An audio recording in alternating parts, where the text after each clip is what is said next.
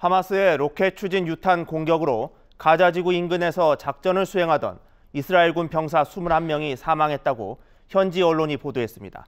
보도에 따르면 병사들은 가자 지구 중부 분리장벽 부근에서 공격을 받았으며 탱크와 건물 등이 로켓탄 공격을 받는 과정에서 한꺼번에 숨졌습니다.